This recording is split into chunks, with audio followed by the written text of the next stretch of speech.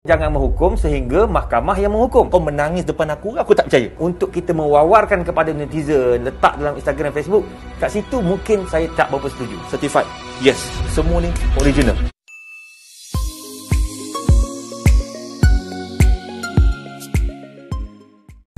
Sejak minggu lalu hangat diperkatakan apabila pendakwah bebas Fidaus Wong Wai Hung menerusi telegram mendedahkan perbuatan lucah didakwa milik seorang pendakwah terkenal.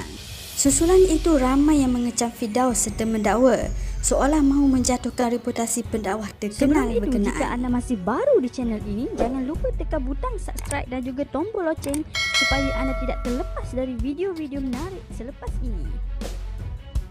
Terbaru Fidaus Wong tampil di sebuah program TV9 Sembang Viral yang dihoskan oleh Datuk Rosyamno bagi menjawab segala persoalan mengenai isu panas itu.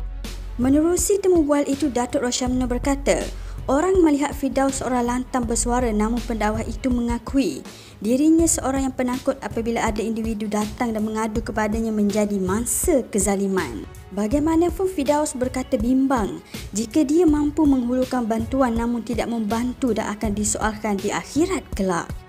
Buat pengetahuan semua, bukan semua mangsa mengadu kepada saya. Saya ada ramai kawan aktivis dan mereka datang kepada saya untuk minta kerjasama.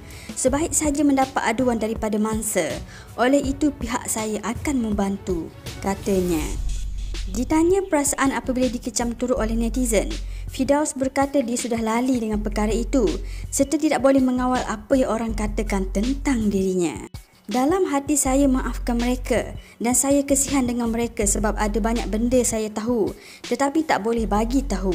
Walaupun ada yang redik, caci, ada yang suruh saya keluar daripada agama dan masuk semula ke agama lama, saya tetap maafkan semua, katanya.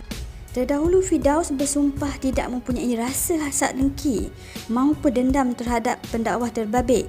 Jelasnya lagi masa yang tampil datang kepada Kalau mereka. anda suka video di channel ini, boleh juga tekan butang like dan share di media sosial yang lain.